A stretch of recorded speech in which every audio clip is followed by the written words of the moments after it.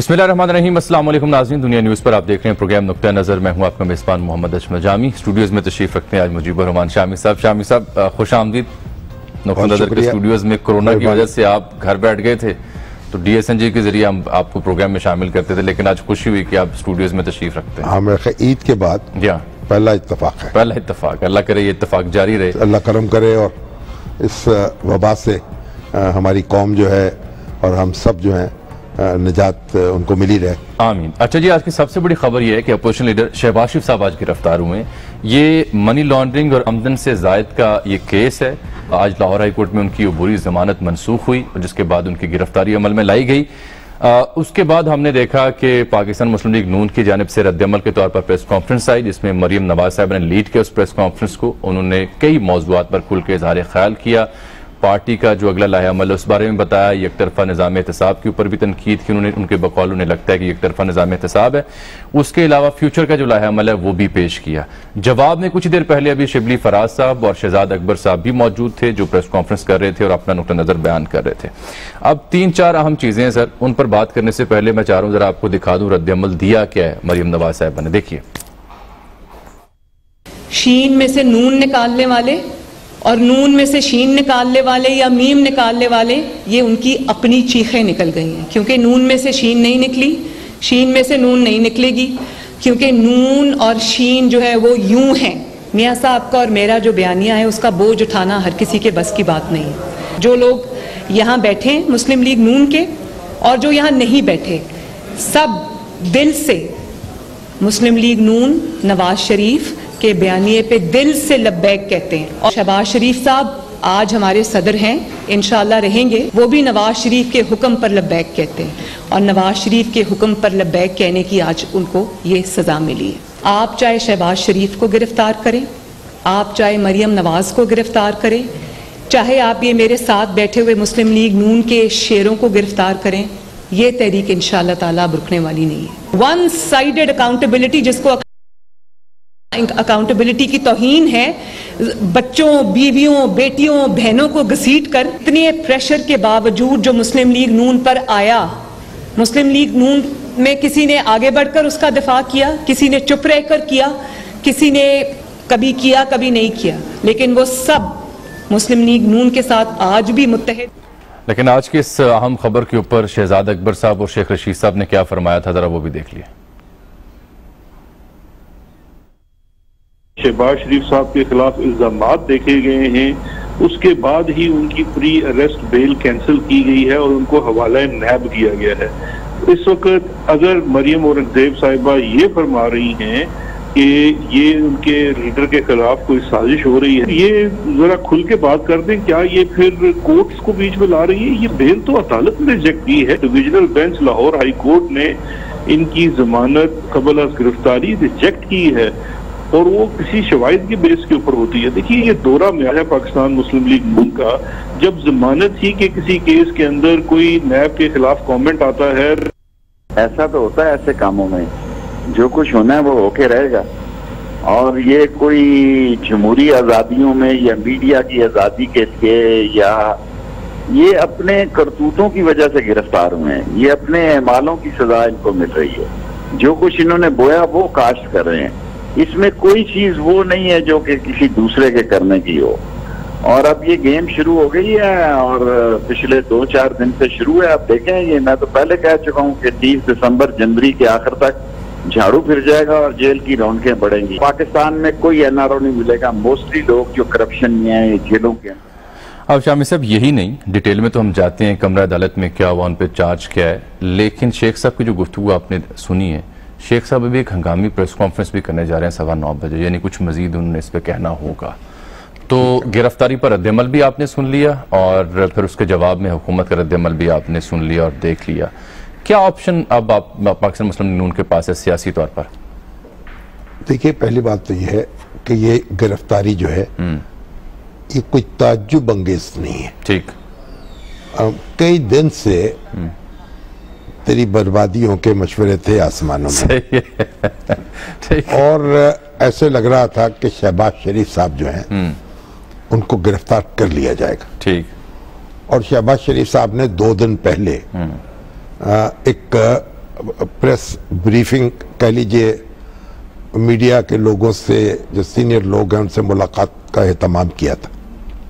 बड़ी तवील गुफ्तगु की थी और बड़ा पुरतकल्लफ खाना खिलाया था। अ, मेरा ख्याल है कि शहबाज शरीफ साहब ने अपनी ज़िंदगी में पहली बार अच्छा सबसे अच्छा खाना कोई ऐसा पुरतकल्लफ खाना किसी को खिलाया होगा शायद। अच्छा जो गिरफ्तारी से पहले खिलाया गिरफ्तारी से पहले। अच्छा। शायद उन्हें पता था बड़ा ज़बरदस्त सैलड था बड़ा ज़बरदस्त चिकन था पुलाव था। अच्छा अब उसमें उन्होंने तकरीर भी की और एक पंफलेट जो है वो भी तकसीम किया। जो अंग्रेज़ी ज़ुबान में था जिसमें जो उनकी जो खिदमत उन्होंने की है पंजाब की और जो तरक्याती मंसूबे उनके दौर में मुकम्मल हुए उनकी तफसील बयान की गई थी। तो वो तो इस हुकूमत को दो बरस हो गए। अब पेश करने की क्या ज़रूरत थी? ये तो इसलिए इलेक्शन के हंगाम चीज़ें उन्होंने बताया कि भाई ये और इसमें कितनी बचत हुई। आ, कित, आ, खरबों की बचत जो है आ, उनकी उनके कहते हैं उन्होंने मंसूबों की। में की गई। ठीक बात। और इस तरह से उन्होंने ये भी कहा कि जो खिदमत है सियासत खिदमत के ज़रिए होनी चाहिए। और फिर बारह सवाल उनसे जो हो रहे थे वो तो एक ही सवाल था कि नवाज़ शरीफ साहब का जो बयानिया है उसकी वे तस्दीक करते हैं या तरदीद करते हैं क्या करते हैं? तो वो पुल सरात में से गुजर गए। उन्होंने कहा मैं अपने बयानिए पर कायम हूँ अपने भाई के। नहीं अपने। अपने अच्छा। और मेरी राय ये रही है और आज भी है कि मुशावरत से मामला होने चाहिए। लफ्ज उन्होंने अंग्रेज़ी का इस्तेमाल किया। कन्फंट्रेशन नहीं कंसल्टेशन। पर मैं यकीन रखता हूँ। लड़ने भिड़ने पे मेरा यकीन नहीं है। लेकिन जहाँ तक पार्टी का ताल्लुक है और पार्टी के साथ में खड़ा हूँ और नवाज़ शरीफ साहब के बयानी की भी उन्होंने जो तशरी की वो ये थी कि वो वो भी चाह रहे हैं कि दस्तूर के मुताबिक काम चले। और तो बहरहाल ज़ोर देकर उन्होंने उस उस गिरफ्तारी उस उस उस मीटिंग से ही ऐसे अंदाज़ा हो गया था कि गिरफ्तारी गिरफ्तारी से पहले की एक प्रेस कॉन्फ्रेंस है। वो अब और यही जो उनका उनका किताबचा है वो उन्होंने अदालत में भी पेश किया आज। वो जानते हैं अशफाक साहब और कमरे अदालत में वकील उनके जो कारकर्दगी है उसकी तफसील यकजा तौर पर सर ये जो आप फरमा सामने आ जाए। ये अपनी जगह दुरुस्त होगी लेकिन सवाल सादा सा ये है कि कमरा अदालत में भी अपनी परफॉर्मेंस का रिपोर्ट पेश की जाती है प्रेस कॉन्फ्रेंस में भी। इससे पहले भी जो प्रेस कॉन्फ्रेंस उन्होंने की थी वहाँ भी जब उन्होंने कोई सवाल नहीं लिया था आपसे मुलाकात से पहले एक प्रेस कॉन्फ्रेंस की थी कोई सवाल नहीं लिया था। उस दिन तो सवाल लिए। जी उस दिन लिए। परसों जो दो दिन पहले तो उसमें ली। सवालात लिए वो उस तरह की प्रेस कॉन्फ्रेंस नहीं थी। मीटअप था। हाँ। अब अब मसला ये है कि वो परफॉर्मेंस कार्ड में तो सवालों का जवाब नहीं है जो सवाल उनसे पूछे जा रहे हैं जो चार्जेस उन पर लगाए जा रहे हैं। उसका जवाब तो वो देते नहीं है। अशफाक साहब कमरा अदालत में मौजूद थे उनसे बात करते हैं। अशफाक साहब वालेकुम। बताइएगा आमी साहब ने अब ये बात शुरू की है तो आज कोर्ट रूम में आपने क्या देखा क्या सुना? जज साहब ने क्या सवाल पूछे? शबाशी साहब खुद भी आए रोस्टम पर तो क्या बयान कीजिएगा? शुक्रिया जामी साहब। सबसे पहले तो मैं आपको ये बताऊँ कि मजमू तौर पर शहबाज शरीफ चार माह पच्चीस रोज तक लाहौर हाई कोर्ट में अ, मनी लॉन्ड्रिंग और आमदन से जायद असासों के केस में अबूरी जमानत पर रहे। इस दौरान कोरोना वबा आई शहबाज शरीफ कोरोना वायरस में मुबतला हुए और फिर साथ ही साथ अदालती तातीलत आ गई जिसकी वजह से ये अबूरी जमानत कार्रवाई समेत दीगर केसेस की अदालती कार्रवाई मुतासर हुई और फिर सोलह सितंबर से लाहौर हाई कोर्ट के दो रुकनी बेंच ने बाकायदा शहबाज शरीफ की अबूरी जमानत पर कार्रवाई का आगाज़ किया और फिर आज 28 सितंबर को अदालत ने शहबाज शरीफ की अबूरी जमानत मुस्तरद की और शहबाज शरीफ गिरफ़्तार हुए।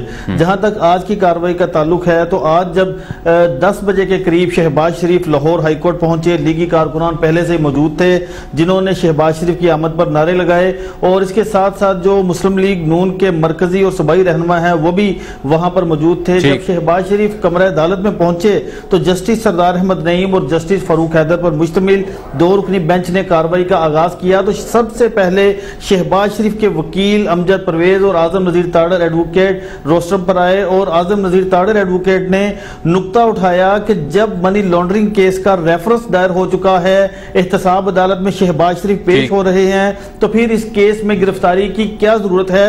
नैब सिर्फ़ अपनी अना की तस्कीन के लिए शहबाज शरीफ को गिरफ़्तार करना चाहता है।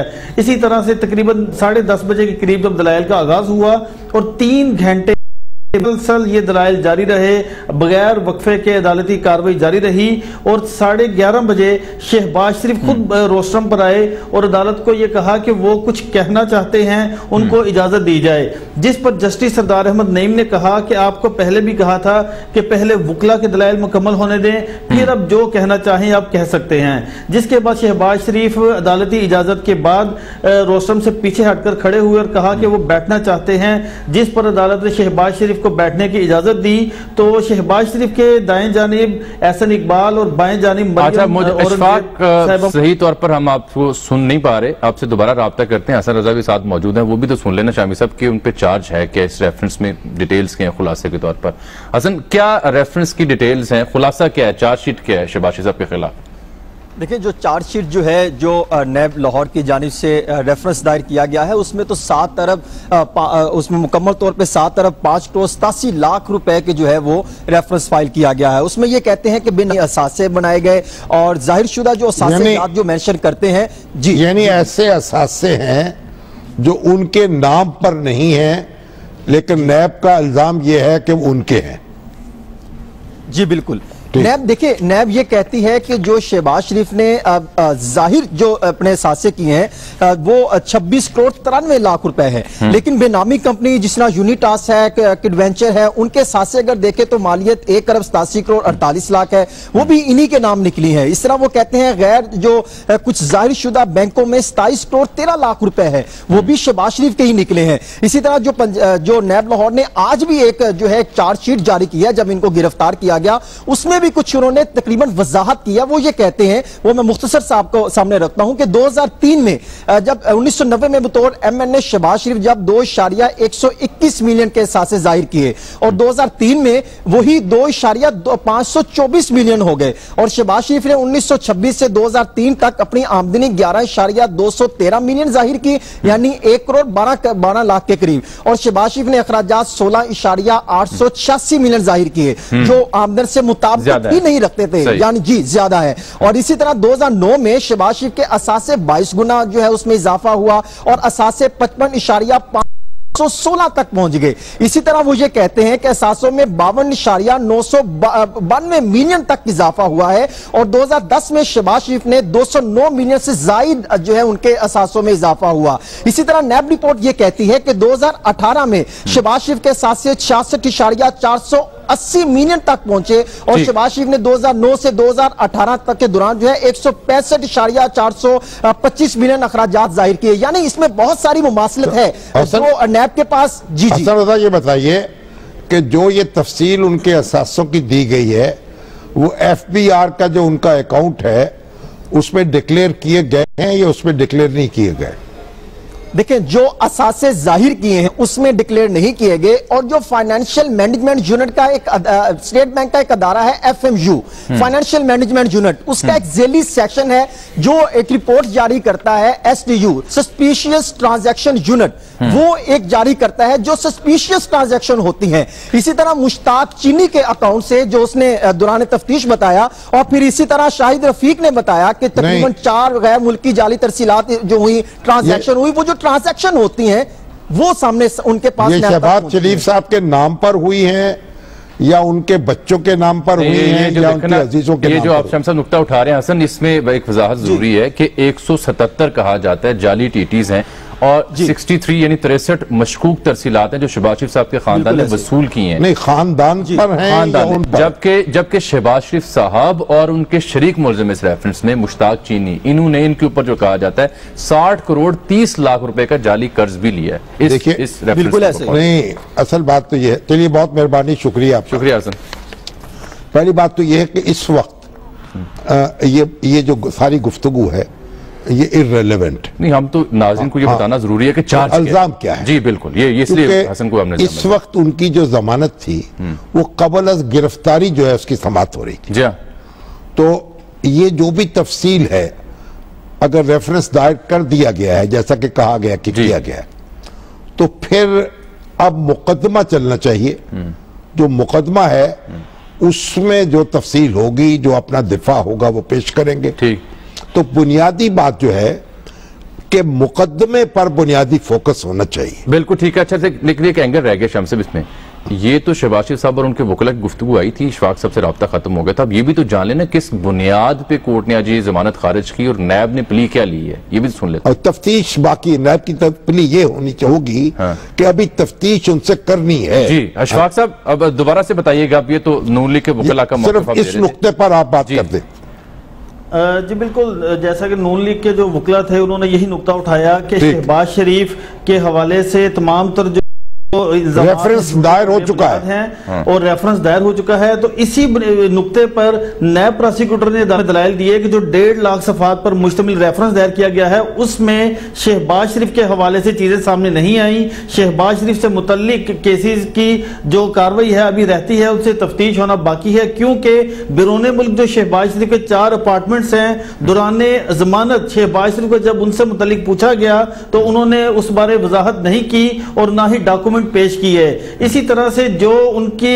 हवाले से जो मनी लॉन्ड्रिंग हुई है उससे मुतलिक भी शहबाज शरीफ ने नहीं बताया जबकि जो उन्होंने अपनी अहलिया को जो तहमीना दुरानी है उनको डीएचए में जो घर लेकर दिया उससे मुतलिक पैसे नहीं बताए कि वो पैसे कहाँ से आए इन सारे मामला पर तफ्तीश करना बाकी है।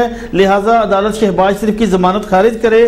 तो जैसे ही नायब प्रोसिक्यूटर के दलाइल मुकम्मल हुए तो दो रुकनी बेंच ने शहबाज शरीफ की अबूरी जमानत खारिज की और फिर शहबाज शरीफ को नैब की जो तफ्तीशी टीम थी उन्होंने हिरासत में ले लिया और इसी तरह से जो हुक्म है वो जो अदालती हुक्म है उसमें क्या तफसील बयान की गई वजह क्या बयान की गई? शामी साहब अभी अदालती हुक्म की जो तफसील है वो सामने आना बाकी है। आज अदालत ने मुख्तसर फैसला सुनाया। कोर्ट में बैठ के फैसला महफूज नहीं किया गया। जैसे ही नैब के दलाइल मुकम्मल हुए तो दो रुकनी बेंच ने शहबाज शरीफ की अबूरी जमानत खारिज करने का हुक्म सुनाया और कहा कि इसकी जो वजूहत हैं वो तफसीली फैसले में सामने आएँगी। लेकिन इसके साथ साथ आज़म नजीर एड- एडवोकेट ने जब अदालत अपना फैसला सुना चुकी थी तो उन्होंने अदालत से कहा कि वो अपनी दरखास्त जमानत वापस लेते हैं। जिस पर जस्टिस सरदार अहमद नईम ने कहा, हम इसके बारे में देखेंगे। तो दो रुकनी बेंच अपना फैसला सुना चुका था। तो जो ग्राउंड हैं कि ये किस बुनियाद के ऊपर अदालत ने ये जमानत खारिज की है, ये फैसला, ये तफसीली फैसले में चीज़ें सामने आएँगी। ठीक है।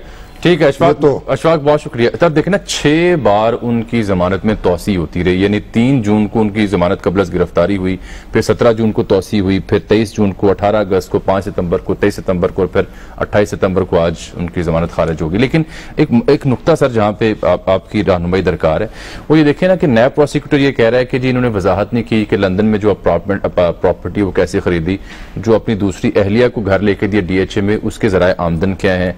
या जो ये टीटीज लगी हैं ये कहाँ से आई कैसे आई?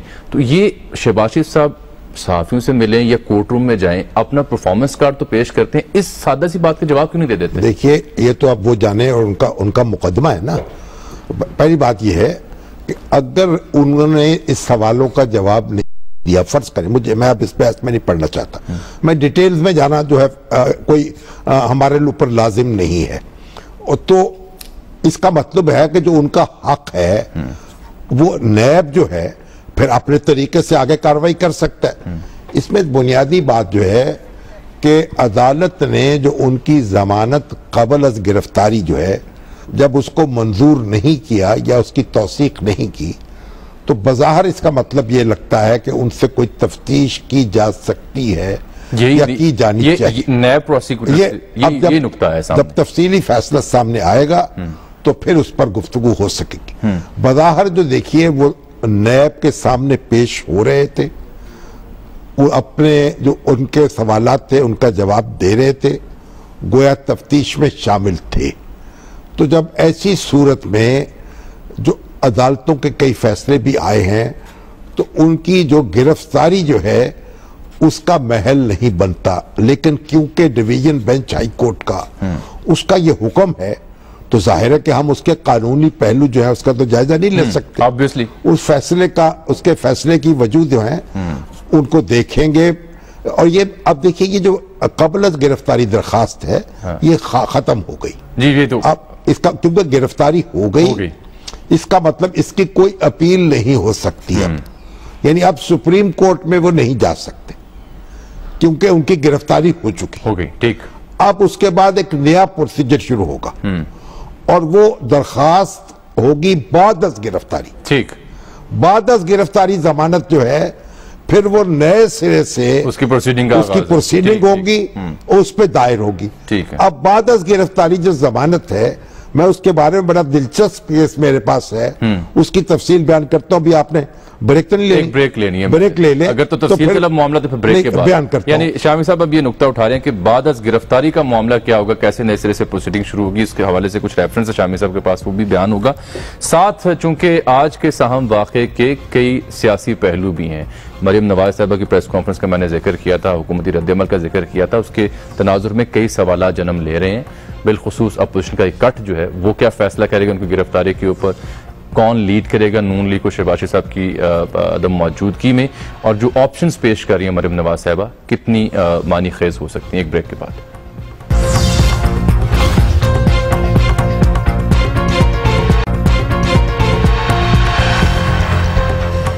वेलकम बैक नाजरीन शहबाशी साहब की गिरफ्तारी। बाद की सियासी सूरत हाल पर अब हम गौर करेंगे। तो शामी साहब देखें ना सबक सदर आसिफ अली जरदारी उनकी हमशीरा पर भी फर्द जुर्म आयद हो गई। अपोजिशन लीडर भी गिरफ़्तार हो गए। मौलाना को याद कर रखा है नैब ने। तो लगता यूँ है कि अब अक्टूबर जो है उसमें सर्दी की बजाय गर्मी शायद हमें सियासी तौर पर देखने को मिले। तो इस मामले पर मजीद बात करने के लिए हमने जहमत दी है। जनाब सुहेल बड़ाई साहब को सीनियर तजिया निगार टेलीफोन लाइन पर मौजूद उनसे बात कर हैं। देखिए जो गिरफ्तारी है ना शहबाज शरीफ साहब की ये एक कानूनी मामला नहीं है। इसलिए कि ये नैब की सवाबदीद होती है। चेयरमैन नैब को पास ये इख्तियार हासिल है कि वो किसी भी मुलजम को चाहे तो गिरफ़्तार कर ले और चाहे गिरफ़्तार ना करे। ठीक है। इसका मतलब ये कि जब वो फैसला करते हैं तो फिर मामला सिर्फ़ कानूनी नहीं रहता। और नवाज़ शरीफ साहब को उनके खिलाफ रेफरेंस दायर हुआ। और वो उनको गिरफ़्तार नहीं किया गया। राजा परवेज अशरफ के खिलाफ रेफरेंस दायर हुआ उन्हें गिरफ़्तार नहीं किया गया। अभी आप तोशाखाना केस है उसमें यूसुफ रजा गिलानी साहब पेश हो रहे हैं उनको गिरफ़्तार नहीं किया गया। जैसे आपने खुद ब्रेक से पहले कहा ना सर कि देखना होगा तफसीली फैसले वजूहत नहीं क्या नहीं वो तो तय होगा। ये अदालत का उसके उसको कोई ताल्लुक नहीं है इससे कंफ्यूज ना करें इस बात को। ये चेयरमैन नैब ने उनकी गिरफ्तारी का फैसला हाँ किया। ठीक। आप कह रहे हैं जो दो जून को नैब ने जो फैसला हाँ किया था गिरफ्तारी का। उस गिरफ्तारी जो है उसका सवाब दी उनके वो उनके पास सवाबदीद है। बिल्कुल ठीक। वो चाहे तो रेफरेंस दायर करें हाँ। और गिरफ़्तार ना करें और चाहे तो गिरफ्तारी का हुक्म जारी कर दे। तो इस लिहाज से बिल्कुल ये कानूनी मामला नहीं रहता इसकी सियासी पस मंजर से आप इसको अलग नहीं कर सकते। ठीक है। इस वजह से एक बात। दूसरी बात यह है कि आज जो मरियम ने जो बात कही है हाँ। और कई नाम भी गिनवाए हैं और खुद अपोजिशन लीडर्स की तरफ़ से भी कहा जाता है कि हुकूमत के खिलाफ कार्रवाई नहीं होती हुकूमत के जो जिम्मेदार हैं उन पर नैब को हरकत में नहीं आती जो बीआरटी आपकी पेशावर की है डिटेल देती है वो डिटेल देती है ना। हाँ। तो वो जो वो जो नुकता नज़र जो है उससे भी एक तासुर लोगों के सामने ये होता है कि जो इकदाम किए जा रहे हैं वो सियासी नौीयत के हैं और अपोजिशन को टारगेट किया जा रहा है। ठीक है, सुहेल साहब से ठीक है सोहेल साहब खुश आमदी सर प्रोग्राम में मरियम नवाज़ साहबा ने आज ये फरमाया कि इस्तीफों का ऑप्शन भी है और फैसला कुन लॉन्ग मार्च का ऑप्शन भी है। शिबाशी साहब गिरफ़्तार हो गए जरदारी साहब पर फर्द जुर्म लग गई मौलाना को भी याद कर लिया। अक्टूबर नवंबर को कैसा देख रहे हैं आप? सबसे पहले तो मरियम का इम्तिहान आ गया उनकी लीडरशिप का इम्तिहान आ गया है। मियाँ साहब आ गए शहबाज शरीफ साहब गिरफ़्तार हो गए हैं। हमजा वो भी जेल में है। सिर्फ़ एक ही रास्ता है मरियम के लिए कि वो अपनी लीडरशिप जो है उसको साबित करें मुस्लिम लीग नून को मुतहरक करें और जो आल पार्टीज़ कॉन्फ्रेंस के फैसले उन पर अमल करें और ये साबित करें कि उनके अंदर ये सलाहियत है पार्टी को चलाने की और मुल्क के अंदर इरताज पैदा करने की क्योंकि इस वक्त नून की ज़रूरत है। लेकिन तो वो तो ये ये बताइए कि आपके ख्याल में अब मरियम को मरियम लीड करेंगी पार्टी को या किसी और शख्स को आगे किया जाएगा? मेरा तो ख्याल है कि ऑटोमेटिकली मरियम के पास लीडरशिप आ गई है। अगरचे उनके पार्लिमानी लीडर्स खाजा आसिफ फासिल इकबाल और वो भी सारे स्टॉलवर्ट्स हैं। लेकिन जो आवाम की धड़कन है और हमने जैसे देखा कि क्राउड पुलर जो है वो तो मरियम है। अगर कोई क्राउड का मामला होगा तो उसमें लाजमन मरियम नवाज़ शरीफ को लीड करना पड़ेगा। लेकिन वो तो ये कहती हैं शामी साहब और सोहेल साहब कि आज उन्होंने कहा कि पार्टी के अंदर इख्तलाफ होते हैं साथ आगे बात जारी रखते हुए बड़ा हम नुकता उठाया कि नवाज़ शरीफ और मेरे बयानिए का बोझ उठाना हर किसी के बस की बात नहीं है। ये दुरुस्त है। ज़ाहिर है एक मजामती बयानिया जो होता है या जहाराना बयानिया उसमें आप स्टेट को एस्टेब्लिशमेंट को हुकूमत को सब के खिलाफ होते हैं तो वो ज़ाहिर है हर शख्स तो इतना बहादुर नहीं है और हर शख्स शायद ये समझता भी नहीं है कि ये बयानिया बनाना चाहिए। तो इसकी दोनों वजूहत हैं और नवाज़ शरीफ साहब चूँकि तीन दफ़ा वज़ीर आज़म रह चुके हैं उनके अपने तजर्बात हैं वो समझते हैं कि मैं तीन दफ़ा हुकूमत करके भी अगर ना बोलूँ और अब भी ना बोलूँ तीन दफ़ा वज़ीर आज़म रह के तो फिर कौन बोलेगा? तो ये दोनों के तजर्बात दोनों की सोच में फ़र्क है। ठीक। और हम ये फ़र्क जानते भी हैं। ठीक। अच्छा एक एक और नुकता आपसे आपके सामने रखना है। उन्होंने कहा कि इस्तीफे भी दे सकते हैं और फैसला कुन लॉन्ग मार्च। ये दोनों ऑप्शंस क्या मुमकिन हैं? इस अपोजिशन इकट्ठ के लिए जबकि गिरफ्तारियाँ हो रही हैं बड़ी बड़ी और आने वाले दिनों में भी शायद हों। देखिए पाकिस्तान के अंदर तो सैकड़ों का मजमा भी संभालना मुश्किल हो जाता है। चंद सौ का धरना जो था इस्लामाबाद में उसने हुकूमत को मुश्किल में डाल दिया था। तो अगर धरने की तरफ़ बात ना जाए या लॉन्ग मार्च की तरफ़ बात ना जाए तो बेहतर है क्योंकि इससे मुल्क के अंदर गड़बड़ होती है बदमनी होती है और फिर उसके असरात कई साल तक रहते हैं। आप देखें कि जो इमरान खान का धरना था उसके असरात क्या क्या हुए चीनी सदर का दौरा जो था वो वो हुआ ग्रोथ रेट कम हुआ ये हुआ वो हुआ कारोबार रुक गए। अब अपोजिशन करेगी तो तब भी बुरा होगा। और दूसरा जो इस्तीफों का ऑप्शन है ये भी आखिरी ऑप्शन होता है। लेकिन अगर हुकूमत जो है ये मेरा तो ख्याल है सत्तर की दहाई वाला मुझे मंजर नज़र आ रहा है कि हुकूमत बिल्कुल ख्याल नहीं कर रही कि अपोजिशन को स्पेस देनी पड़ती है। अगर आप स्पेस नहीं देंगे तो वो भी जंग पे आमादा होंगे। और जब जंग होगी तो फिर दोनों का कुछ नहीं बचता। तो उस तरफ़ नहीं जाना चाहिए। ये कोई अच्छा रास्ता नहीं है जिस तरफ़ ये जाने की कोशिश कर रहे हैं। बहुत बहुत शुक्रिया सोहेल बराय साहब। सर आपके नज़दीक कौन सी ऑप्शन मुफीद है? दो ऑप्शन कही ना। इस्तीफे और फैसला कुन लॉन्ग मार्च देखिए ये ये है आखिरी सर आखिरी। यानी ये दोनों ऑप्शन ये, ये हरफे आखिर है अच्छा। हरफे आगाज़ नहीं है।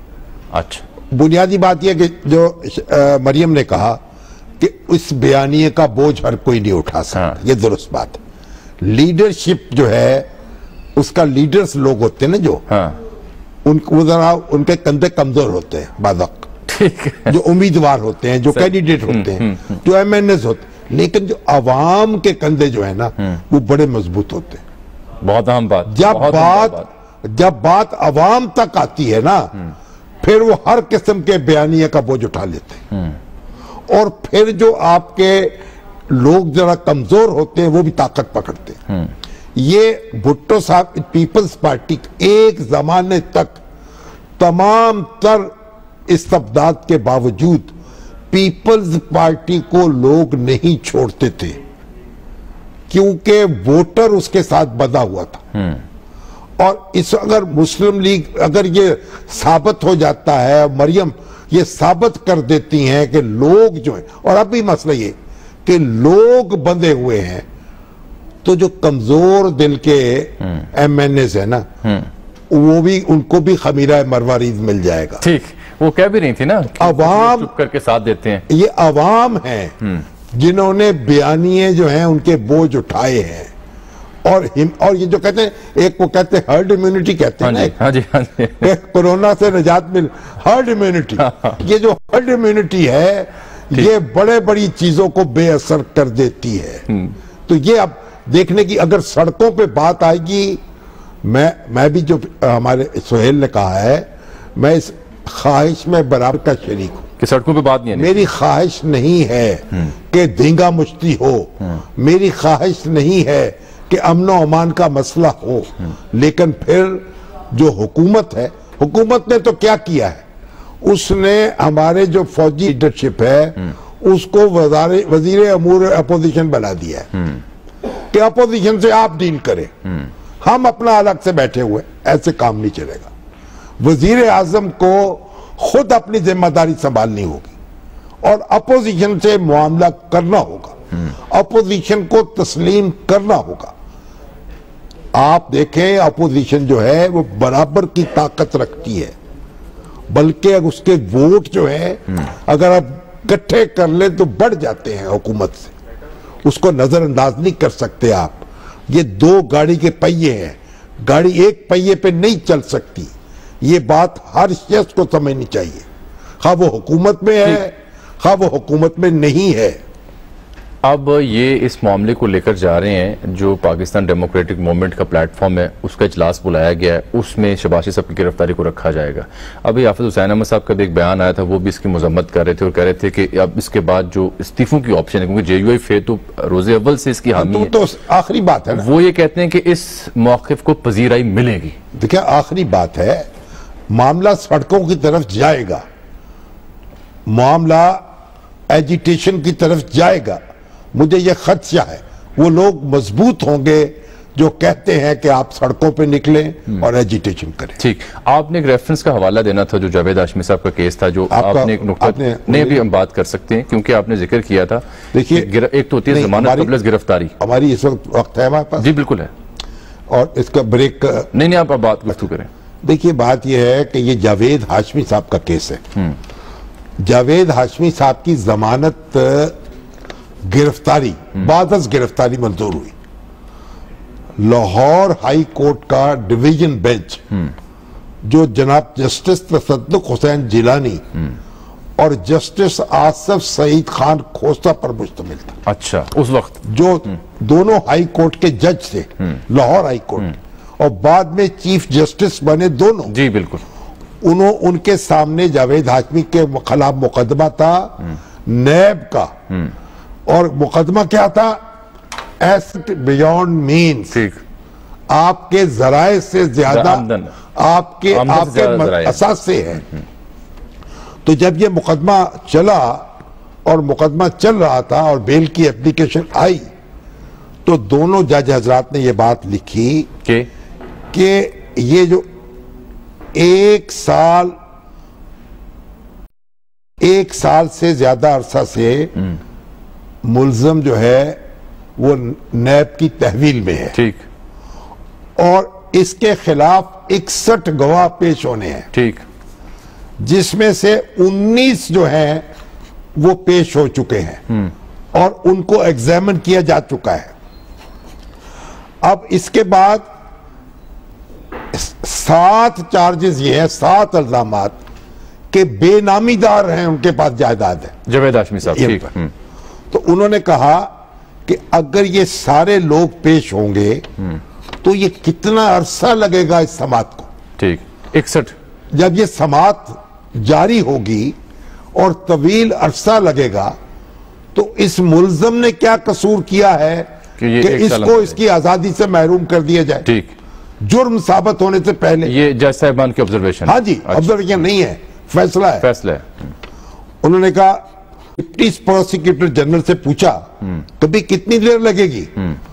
उन्होंने कहा वो कोई यकीन से नहीं कह सका कि कितनी देर लगेगी। अब उन्होंने कहा कि बड़ा हिस्सा एविडेंस का अभी तक आना है।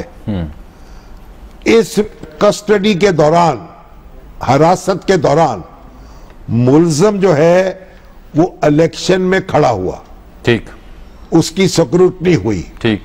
पोलिंग हुई और वो इलेक्शन जीत गया। वो कौमी असेंबली का रुकन बन गया।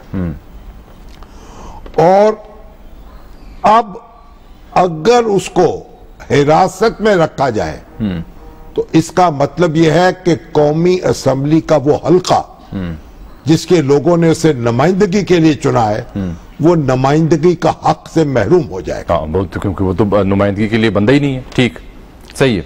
और अगर उसको और फिर दूसरी बात ये कि नैब ने ये कहा है आर्टिकल 16 सेक्शन 16 के डे टू डे हेयरिंग होनी चाहिए।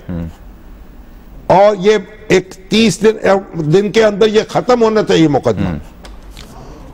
तो अभी तो ये आप एक साल गुजर गया है तो अभी तो गवाही मुकम्मल नहीं हुए। इनका मुलजम का नाम ईसीएल पर डाला जा चुका है।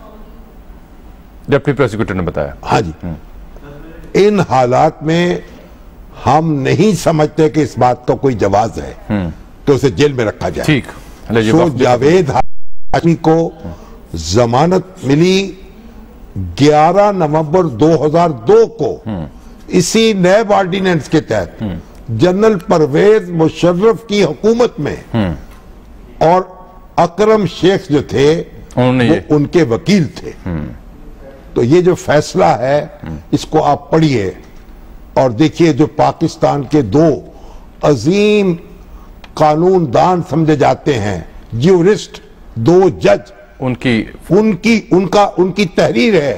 जावेद हाशमी साहब का केस जावेद हाशमी साहब के केस। बियॉन्ड मीन का ठीक है। तो चले आप इसमें भी ये जो हमारे शहबाज शरीफ साहब हैं ये कायदे हिजब इख्तलाफ हैं मुस्लिम लीग नून के सदर हैं। ठीक है। सिर्फ़ एक हलके की नुमाइंदगी नहीं कर रहे ये सारी बातें आपकी दुरुस्त हैं। माजी का रेफरेंस भी आपने दे दिया। शहबाज शरीफ साहब आप बड़ी लंबी तकरीर और खिताब भी करते हैं परफॉर्मेंस भी गिनवाते हैं। सवाल सिर्फ़ एक ही जो शबली फराज भी उठा रहे थे।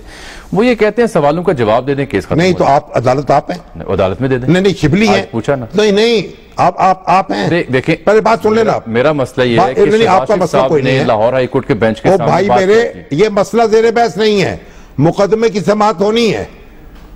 मुकदमे की समाप्त होनी है रेफरेंस वहाँ पेश होना है। गवाह वहाँ पेश होने हैं बिल्कुल ठीक। सफ़ाई वहाँ पेश होनी है बिल्कुल ठीक। तो फिर ये मसला ना शिबली फराज का है ना आपका है ना मेरा है। चले चले एक ब्रेक ले लेते हैं यहाँ।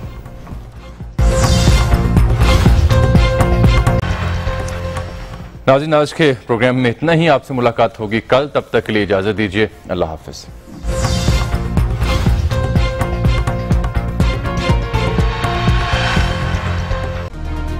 It's Sayyeda Shinaz here. Thank you for watching Dunya News. For more videos and updates, don't forget to click the subscribe button. Keep watching Dunya News.